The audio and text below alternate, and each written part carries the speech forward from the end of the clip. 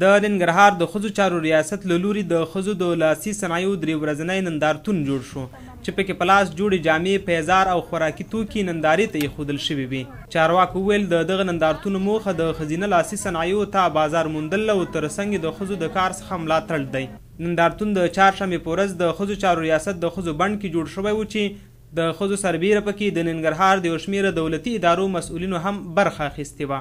د ننګرهار د ښځو چارو رئیسه فتانه عزیز په همدې تړاو جوړو شوو مراسمو کې وویل، په یاد نندارتون کې د ننګرهار د مختلفو سیمو د ښځو لاسي صنایع نندارې ته اېښودل شوې دي. باشگاه سه روزه است که به خاطر تشویق خانم های تجارت پیشه است و بعض یک سو که بازاریابی است که تا بتانند صنایع دستی را بتانند به بازار یا عرضه کنند و دیگر خانم ها بیا از ای تولیدات از یا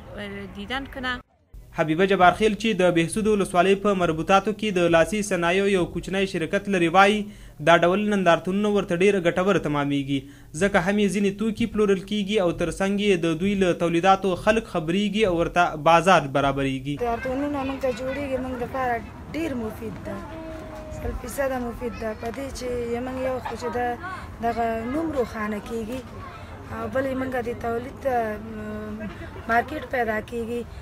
مارکیټ بازار موندنه کیږي صبرینا بیا یو له هغو میرمنو ده چې د اسیا په کچه او ترڅنګ یې د نړۍ په کچه په دا ډول انندارتونونو کې افغاني تولیداتو او لاسي صنایعو ته د ګډون لپاره د زمینې برابرولو غوښتنه کوي. د اتاق تجارت د ښځو د اتاق تجارت نه مثلا داسې یو لینکونه راځي چې مثلا څلور زره ډالر مصرف لري یا درې زره ډالر مصرف لري یا تا یا مثلا دوه زره ډالر مصرف لري خو زمونږ یعنی تر اوسه پورې دې ته دومره غني وو چې مونږ ممکن هغه دوه زره ډالر مصارف ورکړو یو نندارتون نندارتون کې اشتراک وکړو ځکه زمونږ اشتراک هلته زمونږ دغه صنایعو دپاره بازار موندنه په بهر کې کیږي په سنټرل ایشیا منځنۍ ایشیا کې کیږي نو هیله مند دولت نه دایم چې